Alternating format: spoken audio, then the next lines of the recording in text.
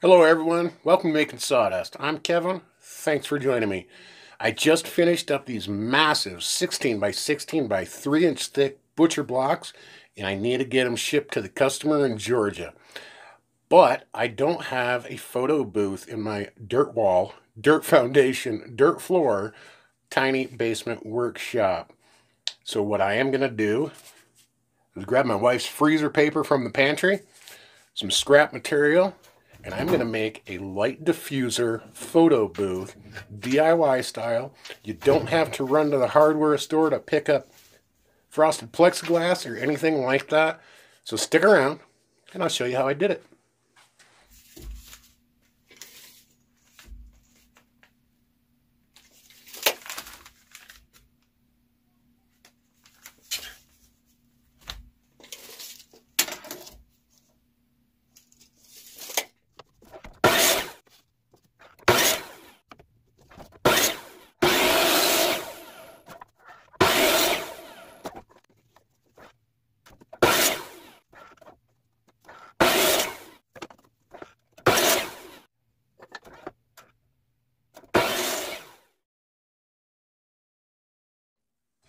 So here's my plan, guys.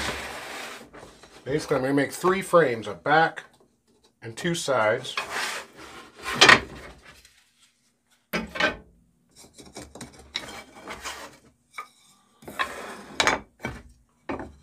I've cut these pieces here 16 inches, and that's going to be my height.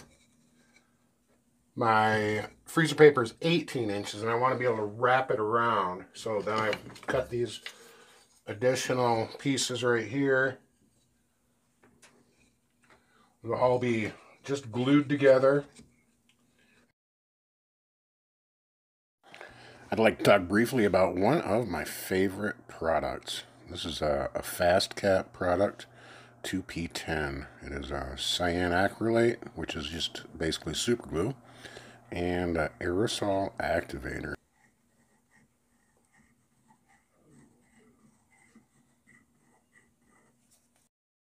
I buy this on Amazon and I was found this product I think over on Izzy Swan Woodworking. Uh, thank you Izzy for showing me some 2P10. I know a lot of other guys use FastCap products, but I'll tell you what, this is great for easy assembly, quick assembly of fixtures, jigs, uh, things like that you need to stick right away.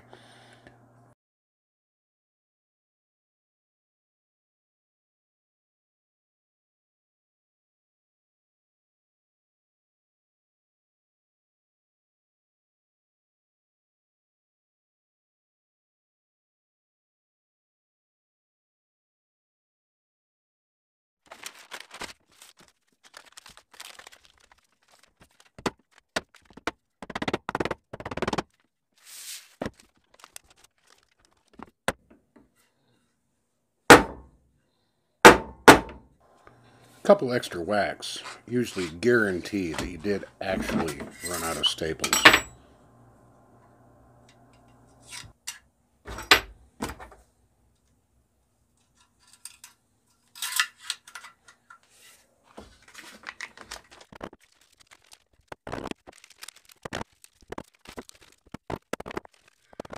So here we go, guys. We have three finished panels.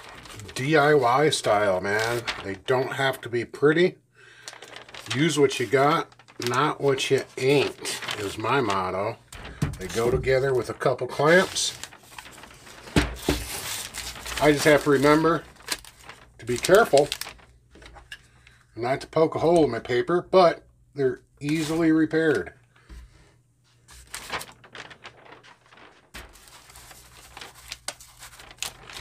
There you go.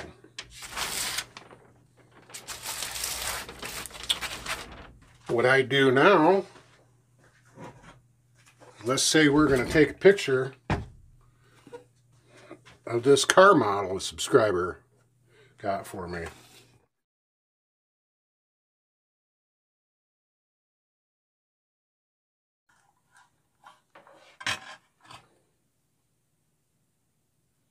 These are the bulbs that I bought. just an EcoSmart LED. I think I got them at Home Depot or something. Probably can buy them on Amazon as well.